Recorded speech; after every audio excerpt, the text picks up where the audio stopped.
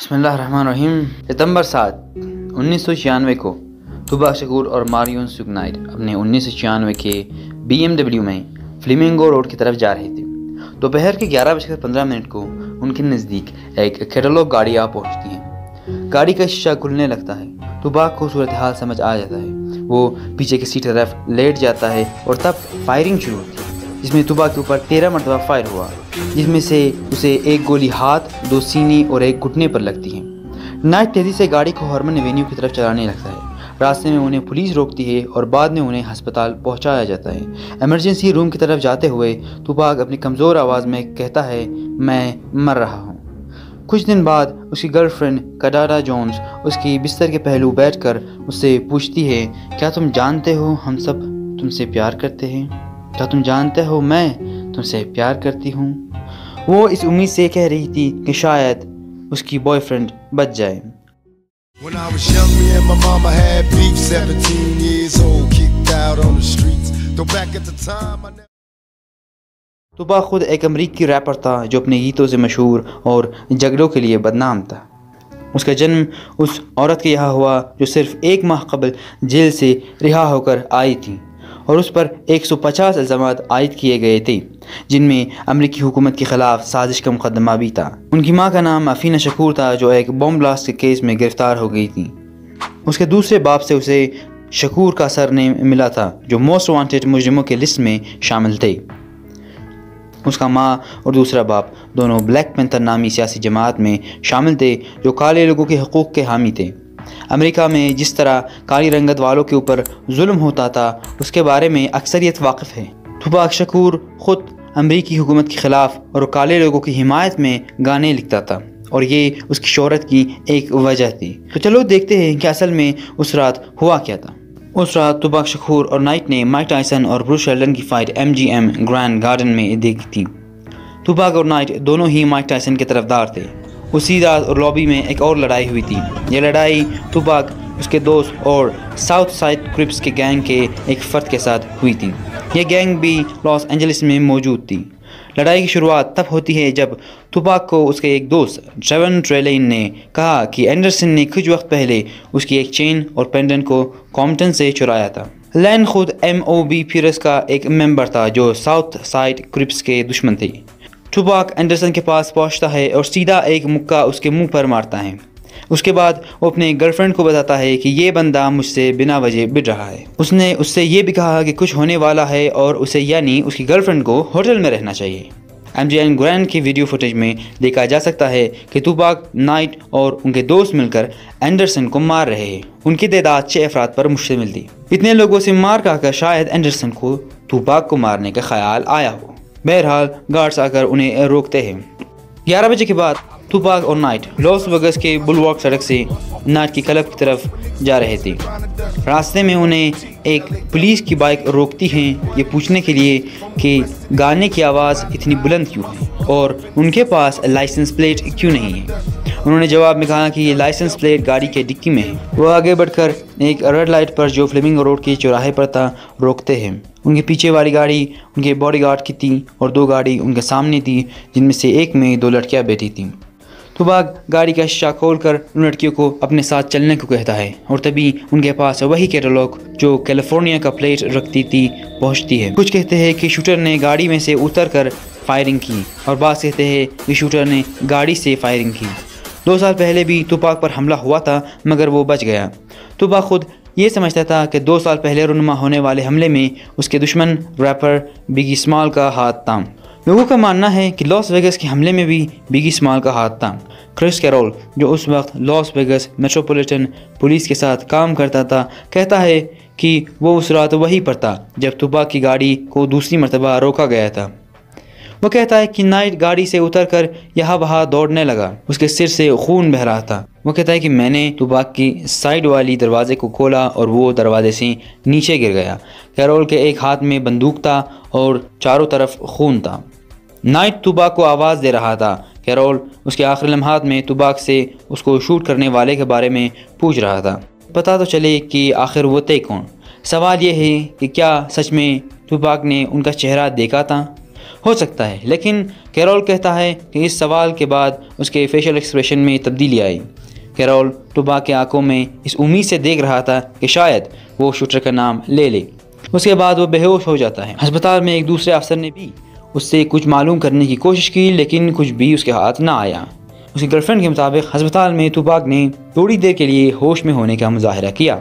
یہ تب ہوا جب اس کی گرل فرینڈ نے ڈان مکلین کا ایک گانا پلے کیا۔ اس گانے کا نام ونسن تھا۔ اس وقت ایسا لگتا تھا کہ اس کی آنکھیں ہل رہی ہوں۔ اس کا منہ تھوڑا سا کھلا، مگر وہ بولنے کے قابل نہ تھا۔ اس وقت اس کی گرل فرینڈ نے کہا کہ اگر تم مجھے سن سکتے ہو، تو اپنے پیروں کو حرکت دو۔ اور تب اس کے شیٹ کا آخری حصہ ہلنے لگتا ہے۔ لیکن افسوس، وہ کچھ بول نہ سکا اور تیرہ ستمبر انیس سو چھیانوے کو اس دنیا سے چلا گیا۔ تو آخر اسے کس نے مارا؟ امریکہ کے ریپرز کئی سالوں سے الگ الگ کرائمز میں شامل رہے ہیں۔ اسی طرح طوبا کے دشمن بھی بہت تھے۔ اس وقت بہت سے مسائل بندوق سے حل کیے جاتے تھے۔ توباغ کے سب سے واضح دشمنوں میں وہ آدمی شامل تھا جس کو توباغ نے لابی میں مارا تھا۔ ہاں اس نے اپنے گرل فرینڈ سے کہا تھا کہ یہ آدمی اس سے بنا وجہ بڑھ رہا ہے، لیکن شروع تو اس نے خود ہی کیا تھا۔ بھلے ہی انڈرسن نے لین سے کسی وقت اس کا چین چرایا تھا، لیکن اس نے وہ لڑائی شروع نہیں کی تھی۔ اینڈرسن نے شوٹنگ میں شامل ہونے سے صاف انکار کیا تھا۔ ہاں کچھ افواہیں بھی تھی کہ اس نے توپاک کو مارنے کا ارادہ کیا تھا۔ اس نے ایک انٹرویو میں اس بات کو ماننے سے نہ صرف انکار کیا، بلکہ اس نے یہ بھی کہا کہ وہ تو توپاک کا ایک فین ہے۔ اس رات وہاں پر ایک اور آدمی تھا جس کا نام یاکی گداوی بتایا جاتا ہے۔ اور یہ شوٹنگ کا ایک وٹنس تھا۔ افسوس تین مہینے بعد کوئی اسے بھی مار دیتا ہے۔ اس کو شوٹ کرنے والا روڈی بیلی توباک کا کزن تھا۔ بعد میں توباک کی کزن نیپولین نے جو خود ایک ریپر تھا کہا کہ گدافی کو ایل ایس ڈی ڈرگ کی وجہ سے مار مگر بہت سے لوگوں کا ماننا ہے کہ اسے اس لیے مار دیا گیا کیونکہ وہ توپاک کی موت کے موقع پر موجود تھا۔ اینڈرسن کے متعلق کہا جائے تو اس پر پہلا حملہ انیس سو اٹھانوے میں جب وہ بتیس سال کا تھا، ہوا تھا۔ کہا جاتا ہے کہ اس نے کسی کا پیسہ لینے کی کوشش کی تھی۔ مار پیٹ نے شوٹنگ کی شکل اختیار کی، جس کے نتیجے میں اورلینڈو اینڈرسن مارا گیا۔ تو کیا یہ شخص اینڈرسن توپاک کا قاتل تھا؟ اس کے پائی کے مطابق ایسا نہیں تھا۔ وہ ایک انٹرویو میں کہتا ہے کہ اس کے پائی نے کبھی کوئی غلط کام نہیں کیا اور وہ ہمیشہ اچھے کاموں میں مشغول تھا۔ وہ مزید کہتا ہے کہ نہ اس کا بھائی کوئی گینگسٹر تھا، نہ ہی اس نے توپا کا قتل کیا تھا۔ وہ صرف ایک فین تھا۔ پھر بھی پولیس کا کہنا ہے کہ اینڈرسن کسی گینگ میں شامل تھا، اگرچہ وہ بڑا ہی شان مزاج کا آدمی تھا۔ اینڈرسن کا ایک اور دوست کہتا ہے کہ ہم سب کا، ہمارے فیملیز کے ساتھ کوئی مسئلہ ضرور ہے۔ اینڈرسن کے پاس فیملی تھا جو میرے پاس نہیں تھا۔ وہ کہتا ہے کہ نہ اینڈرسن سموک کرتا تھا، نہ وہ شراب پیتا تھا۔ وہ اسکول جاتا اور اس کا کوئی کرمنل ریکارڈ نہیں تھا۔ لیکن پھر وہ اس شخص کے نام سے مشہور ہوا جس نے توپاک کا قتل کیا تھا۔ مگر اس کا ماضی اس کے خلاف تھا۔ اینڈرسن نے خود ایک بار کہا تھا، میرے ساتھ میرا اوپر والا ہے اور میں اپنی باقی زندگی توپاک کے متعلق سوچ کر نہیں گزار سکتا۔ یہ بہت عجیب کہانی ہے، مگر پولیس صرف ایک وجہ کی تلاش میں تھی نائٹ کو پکڑنے کے لیے، جو ڈیتھ رو ریکرڈز کا مالک تھا۔ نائٹ لوگوں کی نظر میں ایک اچھا انسان تھا بنسبت ایک گینگسٹر کے۔ اس کے ریکارڈ میں اس نے کئی بار پولیس والوں کو رشوت بھی دی تھی۔ البتہ ان پولیس والوں کو جو خود کوکین کی چوری میں شامل تھے اور بعض اوقات ڈیتر آفس میں بھی چاپا مارتے تھے۔ ہم یہاں پر ایک بہت بڑی کرپشن کی بات کر رہے ہیں اور اس میں کوئی شک نہیں کہ یہ چیز گینگ سے تعلق رکھنے والے قتل کو متاثر کرتی آئی ہے۔ رمپار کرپشن ٹاسک فورس جو پولیس کی کرپشن کے خلاف کام کرتی تھی، نے یہ پتہ لگایا تھا کہ بہت کم پولیس ڈیتھ رو کے سیکیورٹی کیس میں شامل تھی۔ یہ بڑا ہی واضح تھا کہ وہ خود گینگسٹر کے ساتھ ملے ہوئے تھے اور لاکھوں کی ہیرا پھیری کرتے تھے۔ یہ افواہ بھی ہے کہ ایک کرپٹ پولیس افسر رافیل پیرز بگی اسماک کے قتل میں شامل تھا اور اسے ہائر کرنے والا نائٹ تھا، کیونکہ اسے لگتا تھا کہ بگی نے توبا کا قتل کیا تھا۔ اچھا ہمیں سمجھ آ گیا ہے کہ یہ سٹوری بہت ہی پیچیدہ ہے، لیکن شاید تھوڑا سا آگے جا کر یہ کیس واضح ہو جائے۔ تو پولیس یعنی وہ پولیس والے جو چوری میں شامل نہیں تھے، انہیں سمجھ آ گیا تھا کہ نائٹ بہت سے غیر قانونی کاموں میں شامل تھا۔ تو پولیس نے سوچا کہ وہ اسے جیل میں ڈال سکتے ہیں اس لڑائی کی وجہ سے جو توپاک کے موت کی رات ہوئی تھی۔ اینڈرسن نے پہلے تو پولیس سے یہی کہا تھا کہ نائٹ بھی اسے پیٹنے میں شامل تھا، لیکن کورٹ میں اس نے اپنی بات بدل دی۔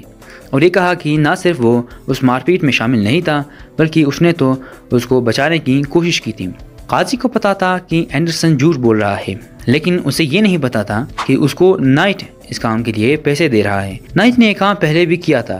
جب توپاک کو جنسی زیادتی کے مسئلے میں گرفتار کیا گیا تھا، تب اس نے بہت بڑی رقم توپاک کو چھڑانے کے لیے ادا کی تھی۔ توپاک نے آزاد ہونے کے بعد نائٹ سے کہا کہ وہ ڈیترو کو دنیا کا سب سے بڑا لیبل بنا دے گا۔ دوبارہ اینڈرسن کی طرف۔ کورٹ میں اس کے اور نائٹ کے بیچ مسئلہ حل ہونے کے بعد وہ اپنا ہی ایک ریکارڈ لیبل شروع کرنا چاہتا تھا، لیکن وہ مارا جاتا ہے۔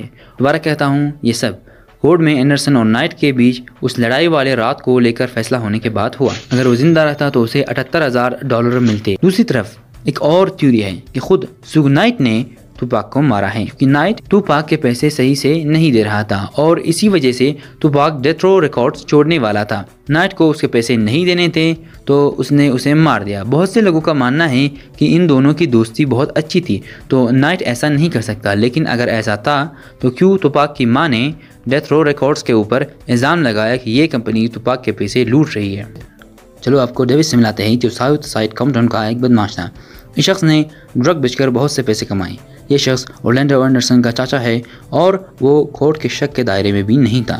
ڈیوس کو جب کینسر ہوا تو توپاک کے مسئلے کو لے کر سچ بول دیتا ہے۔ وہ کہتا ہے کہ اس رات وہ اور اینڈرسن دونوں ہی کیرالاگ میں موجود تھے۔ اس نے یہ نہیں کہا کہ ٹریگر کس نے دبایا، لیکن اس نے یہ کہا کہ گولی پیچھے کی سیٹ سے چلی تھی۔ ایک اور انٹرویو میں اس نے کہا تھا کہ اینڈرسن نے گولی چلائی تھی۔ اینڈرسن کے چاچا نے کہا کہ گاڑی چلانے والا ٹیرس براؤن تھا، جو ٹی براؤن کے نام سے بھی مشہور تھا۔ ڈیوس خود اس کے ساتھ والے سیٹ پر بیٹھا تھا۔ ڈری اسمتھ اور اینڈرسن پیچھے بیٹھے تھے۔ ٹی براؤن خود دو ہزار پندرہ میں کامٹون کے ایک دکان میں مارا گیا تھا۔ ڈری اسمتھ بھی دو ہزار چار میں ہارٹ اٹیک سے مارا گیا۔ ان دونوں کے ہی لوگ گینگسٹر مانتے تھے۔ ڈیوس کہتا ہے کہ شوٹنگ اس مار پیٹ کی وجہ سے تھی جو میرے بھتیجے اور توپا کے درمیان ہوئی تھی۔ دونوں گینگ میں دشمنی پہلے سے تھی اور یہ لڑائی بہانہ بن گئی ایک دوسرے کا خون بہانے کے لیے۔ اس نے یہ بھی کہا کہ توپا کے سر کے اوپر ایک ملین کا انعام بھی تھا۔ تو کسی کو مارنا، کسی چین یا پینڈن کے لیے گینگسٹر کی دنیا میں ایک عام بات ہے۔ ہر ایک گینگسٹر اپنی عزت اور ریپوٹیشن کو برقرار رکھنے کے لیے کوشش کرتا ہے۔ نائٹ ابھی جیل میں ہے۔ L A P D officer Kading, جس نے توباک اور بیگی کے قتل کی تفتیش کی تھی، کہتا ہے کہ اسے یقین ہے کہ نائٹ نے ہی بیگی کو مارا تھا۔ ایک اور سوال جواب کے دوران اس نے کہا کہ اینڈرسن نے ہی توپاک کو مارا تھا اور اسے یقین ہے کہ پف ڈیری نے ہی توپاک کی موت کے لیے وہ انعام رکھا تھا، لیکن پھر بھی حقیقت اللہ جانے